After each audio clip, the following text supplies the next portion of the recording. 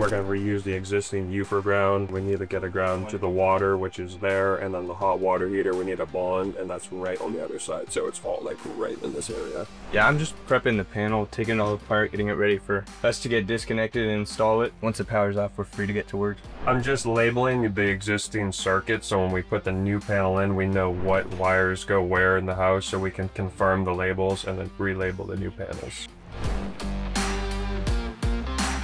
Panel's directly on the other side of here. You can see from the wires going down. So I'm gonna just go floor to ceiling, open it up. We're gonna get rid of the old panel, pull it out, label all the wires, and start putting this one in.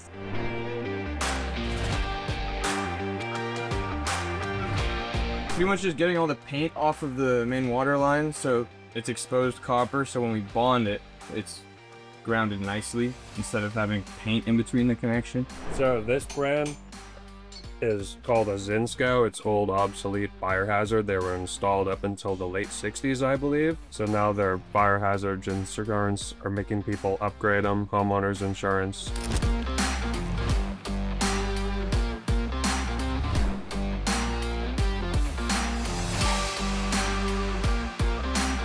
The uh, our underground feed is in this pipe, which is coming up center to our uh, stud bay, and we need to get it to the left, which we're gonna have to figure out how to do because our panel, the where the hub enters, is on the left-hand side, and uh, so yeah, we'll have to come up with something.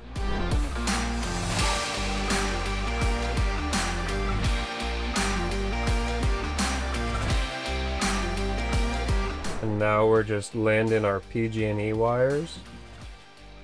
And Tanner's working on getting our grounding over.